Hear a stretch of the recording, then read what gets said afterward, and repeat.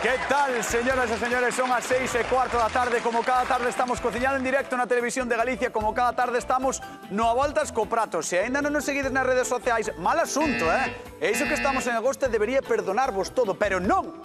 Tedes que seguir nas redes sociais, arroba voltas co prato, aí temos penduradas todas as receitas que facemos todos os días do ano e que habitualmente, pois, cociñan dúas persoas cas que hai que ter, bueno, boa relación, ou polo menos hai que intentalo. Que pasen, por favor, Xulia e Begoña, un aplauso para eles. Aí estamos, aí estamos. Queridísimos... Que velliño estás. Estar maior, eh? Queridísimos... Queridísimos... Cada aniversario, cañotas. Teño que dicirvos, Galicia... Parabéns. Que hoxe son un ano máis bello. Sí. Notas de xa. Sí.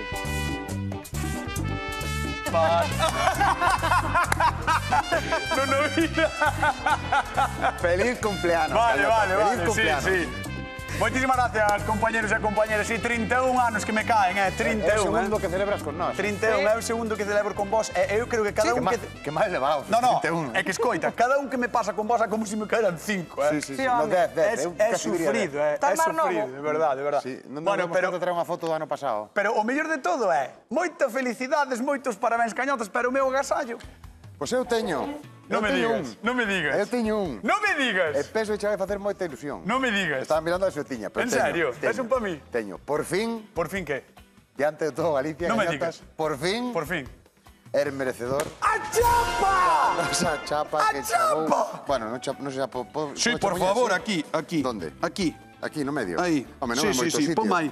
Eh, eh, señoras e señores, Imos cociñar a voltas co prato, vai ser espectacular. A ver que nos trae Francisco Darnoia. Ola vos, son Francisco Vázquez. Vou vos propoñer a receta de pementos das nollas recheos de carne. Empezamos fritindo os pementos nunha tisola con abundante aceite. Unha vez os pementos fritos retirámoslos e añadimos sal. Quitamos o pedúnculo e a parte das sementes. Para o seguinte paso necesitamos cocer un sofrito coa cebola, o allo, a pementa e añadimos a carne. Unha vez que temos a carne ao noso gusto, retirámola, recheamos os pementos ao noso preparado de carne. Estes pementos recheos añadímolos nunha tisoliña pequena de barro con salsa de tomate e douraremos no forno durante 5 ou 6 minutos para que coñan temperatura. E só nos queda degustar esta magnífica receta. degustar este fantástico manxar que é o pemento da Arnoia, é unha das nosas IXPs que temos aquí en Galicia e que a nos encanta, o pemento da Arnoia, sobre todo, como decía Francisco, a min gustame moito renchelo, meterlle dentro absolutamente de todo, é o que mola. Eh, estou moi contento ca miña chapa, chicos. Quero que se Quedache moi ben, eh? Estou moi contento, por fin teño a chapa. Además, pois puxeche no sitio dos totos, sí, porque aí non, non sí. ponen aí unha chapa. Eh, eh, eh pero eh, gañotas, sí. Pero, pero que saibades que o maior agasallo do programa de hoxe é cociñar con pementos da Arnoia. Así que... Yo le mato.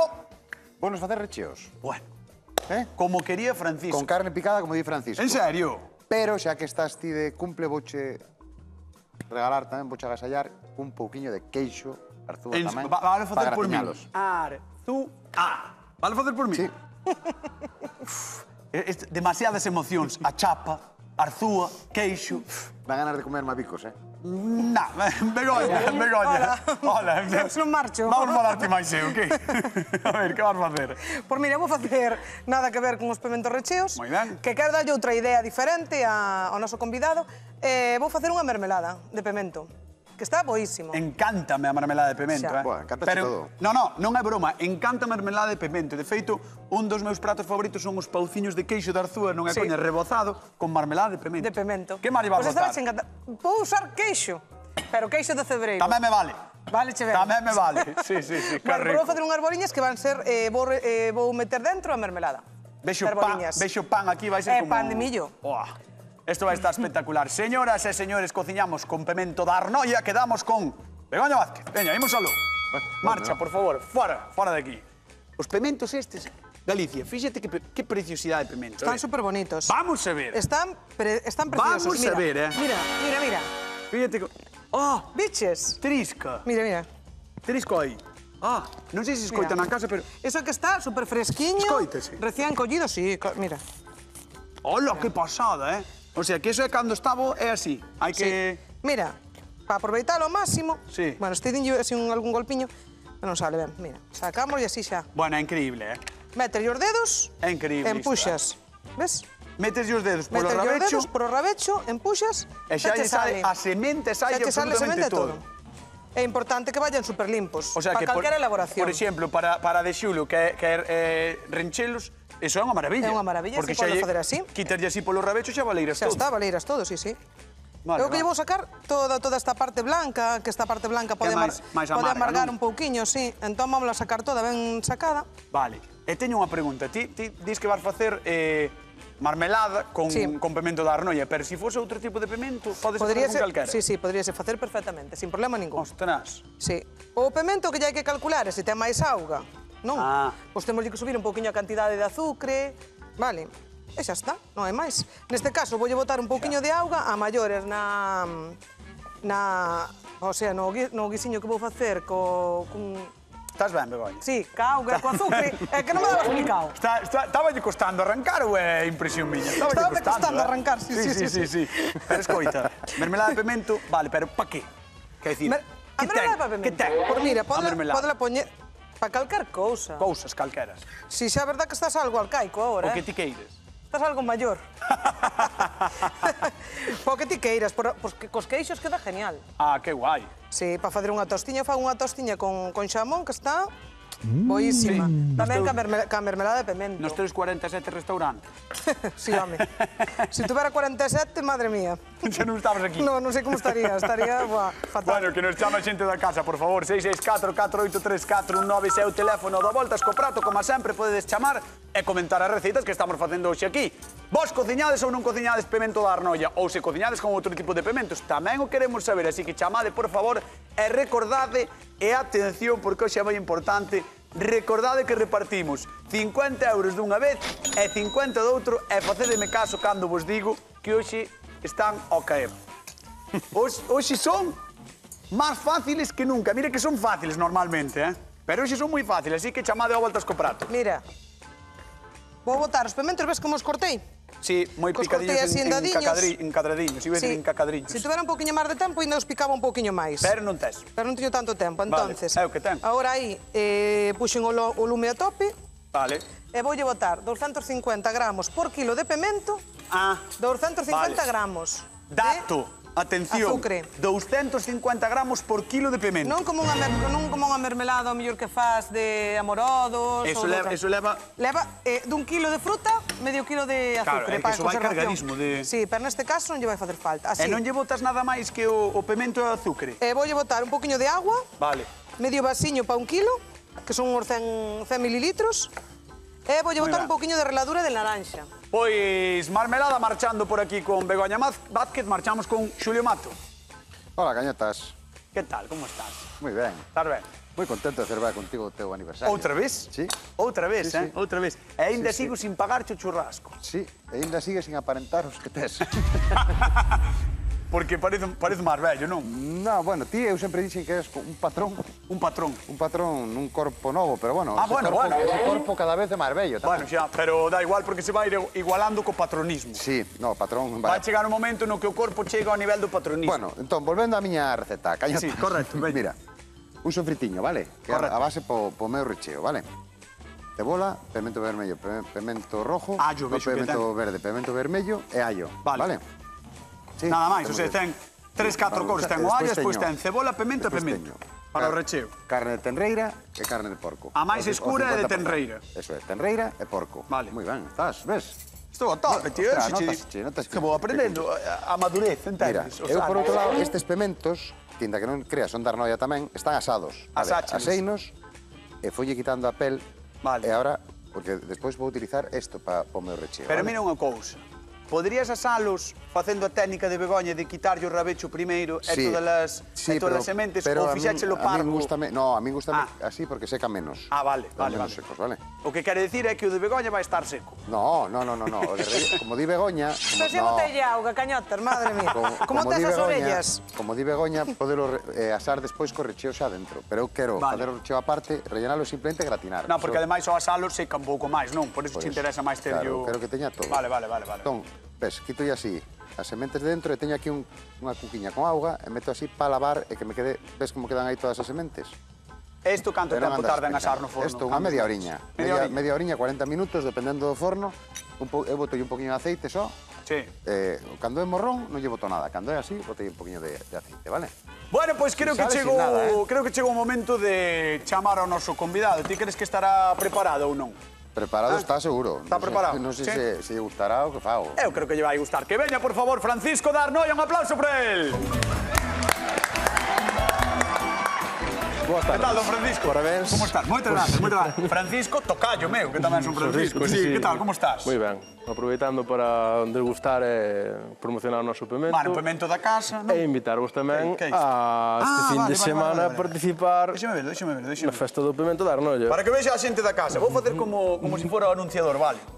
Faise saber, Galicia, que o próximo 4, 5 e 6 de agosto de 2023 será a 44 edición da Festa do Pemento da Arnoia, señoras e señores, na Queixeira. Así que, xa sabedes que ademais está declarada de interese turístico galego, por favor, os que poidades, acudide porque eu estive nesa festa.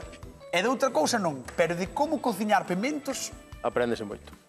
Aí sabedes que sodes uns cracks, eh? Sodes uns cracks. Pois, tocallo, a ver que che parece o que podemos nós, imos con Begoña Marcos. Vente por aquí. Vale. Ponte aquí a ver que che conta. Vou guardar por Hola, aquí o carteliño. Hola, Begoña. Boas. A ver, conte. Eu vou, eh, quero sorprenderte, para que fagas outra cousa diferente en casa. Vale. Entón, o que fixen eh, foi limpar moi ben o pemento, e por fixen eh, como unha xalea con un pouquiño de auga e un pouquiño de, de azucre, e puxen o pemento a cociñar, así dadiños unha marmelada. Un confitura. Un, un confitura, de, sí. de naranxa, que lle realza bastante o sabor. E aquí botaches vinagre para enterrar, eh? E aquí botei vinagre. Vina... Oh. Para enterrar, está... no. Estaba abri... abrindo os ventas, verdad? Sí, sí. Vai che ben pouca tarde. É verdad, é verdad, é verdad. Ben, ben pouca tarde. E aquí estou facendo unha reducción de, de vinagre con un poquinho de azúcar para acompañar as boliñas de queixo de cebreiro que che vou facer. Pero iso que vai ser para unha salsa ou así? Para unha salsiña, para mollar... Eh, ah. mermelada, salsa E por vou facer unhas boliñas que sí. van ser recheas con esa mermelada. As, bo, as, as bolas de queixo? As bolas de queixo. Van levar dentro... A mermelada. Ui, isto xa é cociña... Xa estamos no, é aquí. é moi sinxelo. Isto é tapa concurso, eh? tapa concurso isto xa, eh? Sí, sí, para... sí. Ai, ai, é que me dá... Sí, no, ah, no, no, o vinagre eh, é, de verdad forte. Que, de verdad, é, o, vinagre é forte, é forte. Vamos ver, mientras tanto, que faz Xulio Mato, veña. Ponte, ponte aquí, ponte aquí. No, non, estás, estamos ben, estamos ben aquí. Estamos Hola, boa, estás benvido. Ponte aí, ponte aí. Bueno, pois non facendo algo máis parecido da, na liña do que ti enviaxe. Do que vos propuxen eh? eu. Como Dios manda, como, como mandan... como mandan na Arnoia. Como mandan na Arnoia. Bueno, na Arnoia entón- sabedes que temos moitas elaboracións dos pementos. Moitísimos, eh? Temos que sumar unha máis. Eh. Desde o pemento frito, que é o buque insignio da nosa festa, pasamos por tortilla de pemento, oh. pemento recheos, oh. como vos propusen, eh, croquetas de pemento, oh seado de pemento. É que o, os, as sobremesas son tamén con, con pemento de Arnoia, que é, é increíble, é increíble. Que, como... Eh, vos recomendo, e vos animo que a visitarnos e a probar o, o noso seado de pemento moi moi estamos, sabroso. Estamos máis que atentos e convidamos bueno, a toda Galicia a que vaya. Xulio, meu, pimento recheo. recheo como ves? Eh? Bueno, estou facendo ten pinta o, o, cheiro. O, o sofritiño e a carne, e a carne picada e agora voulle botar despois o que este refogado un poquiño de fariña e un poquiño de leite para facer como unha especie de bexamel. Vale, van ir recheos como unha especie de bexamel. E despois, eso vai ir gratiñado ao forno cun poquinho de queixo de, de arzúa, en Moi honor, en honor ao cumpleañero. Que... Moi ben, moi ben. Pareceme, pareceme que van ser dúas receitas interesantes. Francisco, eh, xa sei que é moi difícil escoller sen probar, pero se ti tiveses que levar á túa festa unha destas dúas receitas, cal levarías así sin probar? Sin probar, pois, atreveríame levar os boliños, porque oh. a innovación ya chamar a, a xente. Despois vamos a ver os sabores. Se nos, Mini punto... Se nos convencen os sabores. Mini punto para Begoña Vázquez. Mini punto para Begoña. Bueno, Francisco, vouche pedir que vayas ao sofá dos sufridores e despois chamamos, te vale? Vale, moitas grazas. Un aplauso para Francisco que está connosco na Voltas co Prato, vendo Arnoia promocionando a súa festa de interese turístico galego.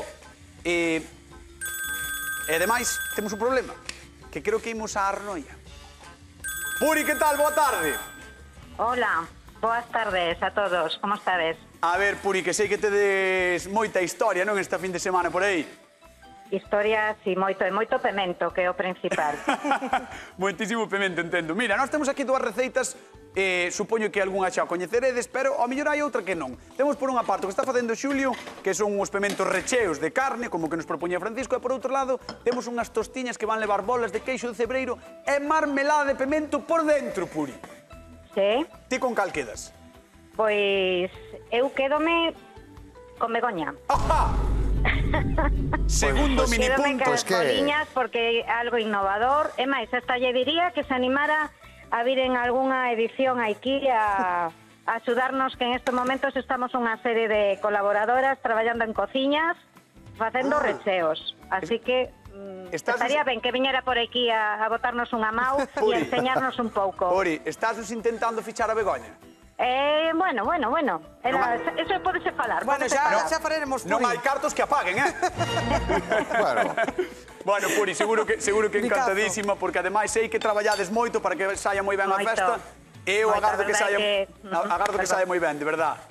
Somos, somos moitos a traballar. Eh, a verdade é que a veciñanza portase moi ben e eh, é genial. Invito vos a todos a que veñades a velo, eh? Que ben, Puri, pois mandamos un bico moi grande, que saia moi ben e que vendades moitos pementos.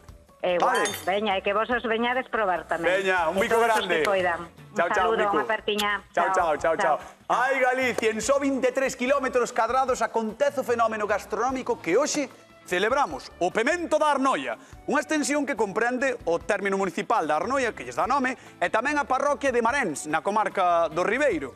E cal é a maxia que fai posible que teñamos estes pementos? Seguramente algo teña que ver cos ríos Miño e Arnoia que bañan estas terras, pero os que marcan a diferenza son os 27 esforzados produtores. Grazas ao seu traballo diario, a pé de horta, temos 6.000 kilos de pemento da Arnoia cada ano, que a verdade non é pouco dicir. Ademais, este pemento pode presumir de IXP e dunha espectacular festa que xusto será nestes días. 4, 5 e 6 de agosto, tomade nota, eh? O ano pasado fritiron máis de 3.000 kilos de pemento e a iso hai que facerlle fronte. Lembrade, as nosas propostas de hoxe sempre estarán en a voltas co prato pendurado, así que, por favor, seguídenos, como sempre, eh? aí temos todo. Veña, vamos con Begoña Vázquez, que vai con dous minipuntos e vai en cabeza, a muller. Vai en cabeza. Mira mermelada. Atención. Vou a triturar agora. Batedor. Batedor Begoña Vázquez. Mira.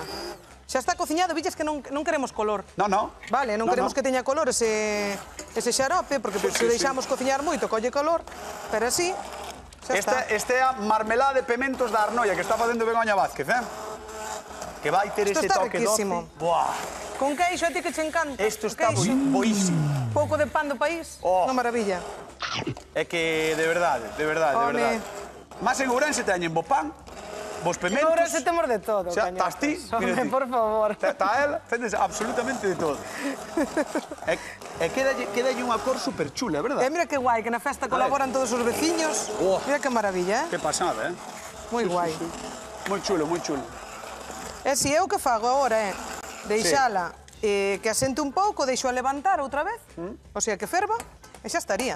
E xa estaría, pois sí. temos pois casi rematada esa marmelada, que parece moi sinxela, verdade, de Begoña Vázquez. Sí. Imos con Xulio, veña, imos alá. Oh, tontorotoro.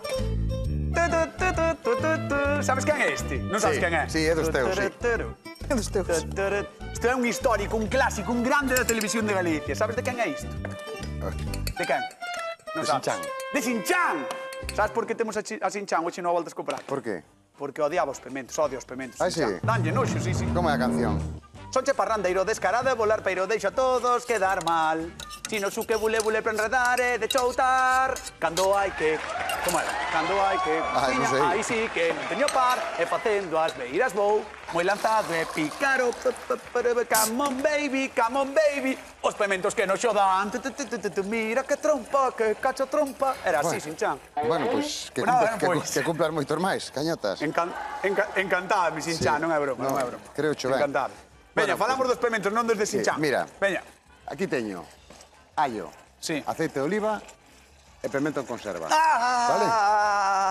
Pemento en conserva. Ah, que? Ese non é da arnoia. Ese é no, vermello. No, no, no, no, ah. non é da arnoia, pero, ah. pero non ten por que ser da arnoia. Bueno. Este é o da arnoia, que vai recheo, ese o que vai facer é ah. casar moi ben con este, xa verás. Ah. Os pementos casan ben todos, con, con todos, sabíalo? Sí, sí, sí, sí. Ah. Sí, sí, sí, ah. sí. Mira que bonitos quedan. No, Mira. quedan chulos, é verdad, así. Claro, quedan chulos, se quedan super ricos, así asadiños, tenriños, que facemos así como uns saquitos, e aquí teño unha, unha fuente engrasada con manteiga. Pa que, por que? Pa que nos, pues, pa que nos dore un poquinho por baixo, ah. e nos sexa máis fácil despois de desmoldar. Vale, vale. Escoita, eh, a salsiña, bueno, a salsiña, o recheo que tes sí. aí, que ten ese aspecto pola bexamel que lle botaches ou... Como, perdón? Non lle botaches como unha especie de bexamel? Sí, botei un poquinho, o que che dixen, vale. botei un poquinho de, de fariña e un poquinho de leite. Entón, entón queda, queda así con, con ese aspecto, con, con ese. Claro, queda con ese corociño de como se fora o recheo dunha croqueta, pero con moito máis magro. Sí, sí, sí, sí, sí. Gústame, eh? Que conste que me gustan mm, moito os pementos mm, recheos sí. de Xulio Mato. Isto é super sinxelo, é super rico e eh, non hai que... Moi ben. Moi ben hai que facer cousa rara. E eh, dixa, dixaches que lle vas meter queixo de arzúa? Voulle meter por riba agora, cando vai ao forno, ah. un poquinho de queixo de arzúa. Ah, arzúa. Vai ser, vai ah. ser, vai ser a, perfe a perfección. Mirade que queixo tan bonito, é tan bonito mm. como o prato doce de Xulio Mato, eh? Vai quedar moi bonito, oh. xa verás. Que bueno, queixazo, no, que pratazo. Mira, aquí, como estes pementos en conserva xa veñen asados, mm. agora que vou facer é subirlle o lume e voulle botar unha pouca nata aquí. Espera, espera, espera, para, para, para, para. Para facer unha salsiña de pemento acabas, acabas de botarlle aos pementos que se están fritindo sí. un, unha nata. Sí, eso, eso, mira, cañotas, eso é de primeiro de irte a vivir solo. Vale, despois pues de facer os espaguetis a carbonara con nata, faz isto con nata. 13 anos, eh, vivindo pues, fora da casa. Joder, pero anos, eh. voy que ganar ben para comer fora. Porque senón... O para pedir á casa. Sí. O para pedir. Por eso... Entón, eh... Entón, Entón, así faz unha salsa de pimento do piquillo, Mira, é que é super sinxelo. Sal, bueno, vamos a botar un poquinho de sal, unha poquinha de pimenta. Se olvidaba de algo. No, despois eu probo todo antes, eh? Sí, sí, sí. Unha poquinha de sal, unha poquinha de pimenta, e temos o aceite de oliva, o allo, un bote de pementos Uf. que botamos aí, e media, medio boteciño de nata. Trituramos todo e quedamos unha salsiña oh. super curioso, pa, mm. joder, pa, pa, especial para pisos de estudiantes para pisos de estudiantes, o sea, salsas que non necesitan demasiado, demasiado tempo. Eu xa non estou un piso estudiante, xa o deixei, Xulio. Pero sigues Gastro vivindo igual. Gastronómicamente sí, gastronómicamente Vives como sí. se estudiara. Veña, marcho con Begoña. Veña. Hola, cañotas. Vengo, sabes Diga. que vou facer? Dime, Nada que vas a chegar contigo. Que pasa? A pregunta. Correcto, correcto, correcto. Queres facela conmigo? Por veña, dalle. Sí. A ver. Non sei, veña, vamos alá. Que? Con Espera, que, que fixo Begoña, non o ves? Con que fixo Begoña a súa mermelada. Ahora tienes que contestar tú. Co pemento de Arnoia. Co pemento de Arnoia. Pemento de Arnoia. Pemento de Arnoia. E as boliñas de queixo. con queixo de febreiro. As boliñas de, as boliñas de queixo con que van? Estou con, con elas. Vale. A, recordade, recordade a resposta, eh? con que fixo Begoña a súa mermelada con pemento de Arnoia, 664-483419. Boliñas de queixo, Begoña, quero saber como as faz. Tens un minutinho, veña. Mira, facemos a primeira. Estiramos así, Ajá. ben o queixiño. É un queixo que é casi como unha plastilina. Claro, a mí encanta este queixo, sí. eh? Sí, sí. É unha pasada. Vale, estirámoslo así eh, e botámoslle un pouquiño de mermelada mira, dentro. Mira, mira, mira, mira. Así. Claro. E agora vámoslo cerrando. Botámoslle unha pinguiña de, de marmelada ao queixo de cebreiro e vámoslo sí, pechando. e agora vámoslo pechando. Ah, oh, Poñémoslle así outra e hai algún que xa teño aquí flotando. Sa sabes, sabes, sabes para que está ben? Para facer cos cativos. Tamén, Porque sí. ao final é queixo de cebreiro, como o que decía Begoña, parece plastilina, sí. poden ir moldeando e dentro metémoslle, metémoslle, metémoslle unha pinga. Mira, unha pinga de mermelada. Vale. Ah, Así. E rebozámolo con? E rebozámoslo con pan. Co esta, este é unha, un tipo de, de pan que solamente se usa a miga do pan. Xa utilizamos alguna Xa vez, Xa temos utilizado alguna vez, sí, sí, sí. Entonces, fariña. Fariña, ovo, ovo e pan relado. E, e pois outra vez, ovo e pan relado. Moi ben. É un doble empanado. Fariña, ovo e pan relado e directamente a fritir. Se non tes pan, co podes ir con outra cousa. Está, con está, outro pan está, relado. Espera, Vou ir ao forno solo. Va, vas ir ao forno. Vas ir ao forno. Vou meter no forno. Sí? Vale. Sí? Veña. Vamos repartir cartiños. Mientras tanto, aí está Xulio Mato metendo no forno, metendo no forno as súas elaboracións. Esther de Gondomar, boa tarde.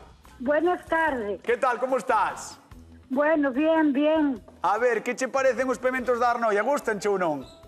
Bueno, yo caso un poquito lejos, pero sí me gustan, sí. Bueno, pero podelos comprar, Esther, podelos ah, comprar. Sí, sí. Bueno, yo he hecho también aquí, pero de los rojos y de los largos. Tamén están vos, eh? Tamén están vos, é eh? verdade, os vermellos tamén están ricos. Veña, vamos alá, por 50 euros, con que fixo Begoña a súa marmelada? Con pementos de arnolla. Moi ben, 50 euros que marchan para Gondomar, para Esther.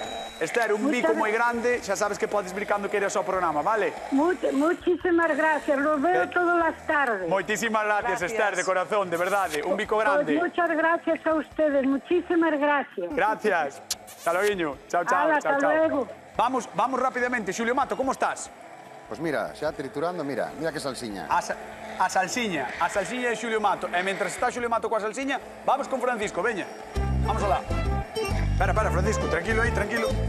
Que pode cosinchar. Como estás? Ben. Estás ben? Está a gusto. Bueno, estamos, estamos che promocionando ben o de un eh. produto que non hai moito que dicir dele porque nada, é o mellor. Nada, nada, nada. Do mellor non se pode dicir nada. Non se pode dicir nada. Non, non. É como estar no mellor programa de cociña. Pues, que vas dicir? Co mellor produto. O mellor produto, isto é unha, unha maravilla absoluta.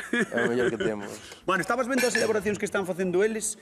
Non sei se si a túa perspectiva inicial cambiou un pouco ou Se sigues pensando que as boliñas... Sigo me quedando ca, ca intriga de, do sabor das boliñas e sigue me gustando un plan as boliñas ca confitura esa de pimento... Cuidado. Mm. Así crunch de que che... Está, está, está, está me costando falar. Está me costando falar. Si empezamos a... Verdad. Begoña, levas tres mini puntos, eh? Uf. Tres mini puntos. Pero bueno, isto non é como empeza, Que como presión, acaba. que presión. Claro, Ahora tamén si están fatalísimo. Claro. Sí, claro. Imos ao Fatalísimo, clásico que non vamos creo. co pimento Aí está. recheo. Francisco, moitísimas grazas, marcho con Begoña, nun momento chámote, vale? Vale. Veña, vamos con Begoña Vázquez, arrancamos. Begoña, Begoña... Mira as boliñas, mira as boliñas, Galicia. Mira as boliñas, O sea, Galicia. casi as teño rematadas. Que maravilla.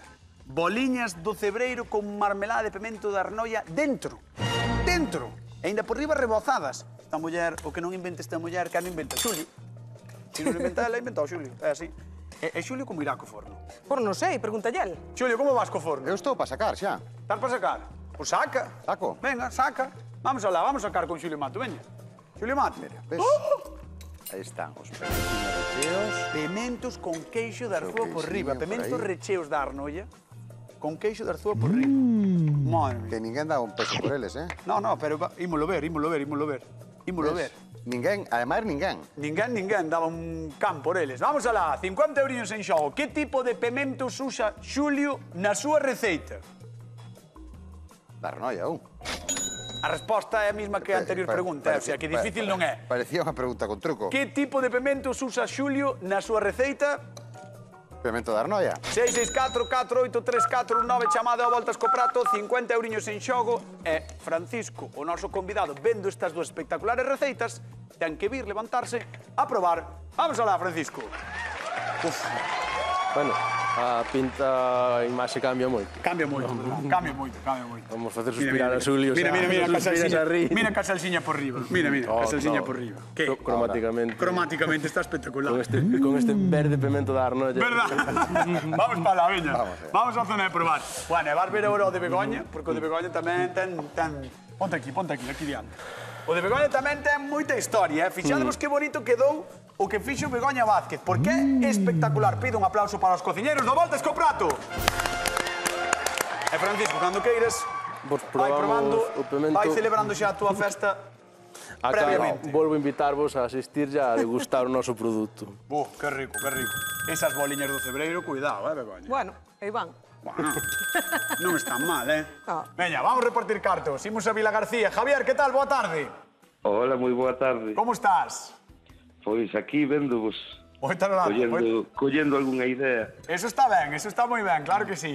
Vamos alá, por 50 euros, que tipo de pementos usa Xulio na súa receita? Pois pemento de arnolla. Era faciliña, era faciliña. 50 euros que marchan para Vila García. Javier, un bico moi grande. Se colles ideas, podes traelas un día ao programa.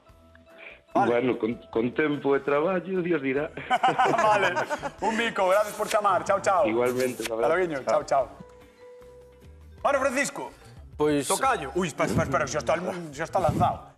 Francisco Darnoia trouxo o seu produto estrela, o produto estrela da súa vila, Quen gaña o a voltas co prato do día de hoxe? A pesar de ser dos grandes platos, vámonos quedar co sabor das arboliñas de queixo con confitura de pemento. Begoña Vázquez, aí estaba, apuntaba aquí a gañar, e ao final gañou, iso é así.